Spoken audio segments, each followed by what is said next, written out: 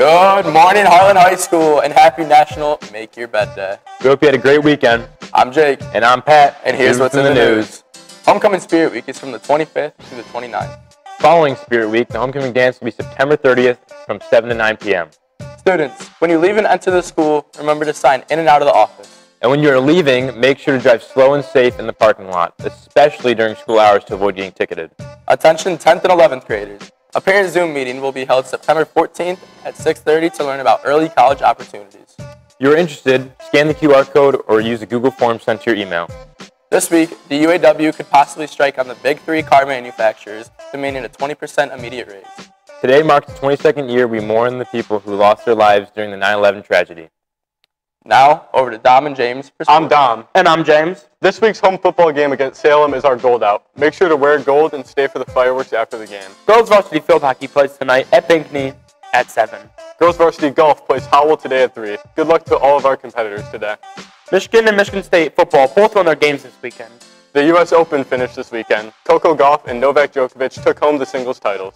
The Buffalo Bills and New York Jets play tonight on Monday Night Football. To Kate and Avery for I'm weather. Kate. And I'm Avery. Today there will be a high of 71 and a low of 54. It is expected to be cloudy all day with the wind gusts up to 6 miles per hour. There are chances of rain throughout the night tonight. Hurricane Lee, now a Category 3 storm, is starting to send hazardous beach conditions to Southeast America. And now for the joke of the day. Why don't fish play basketball? I don't know why. Because they're afraid of nets. Have a great day, Hartland High School. On Monday, September 18th, Hartland High School with the Hartland Township and League of Women Voters will be sponsoring a voter registration drive during all lunches.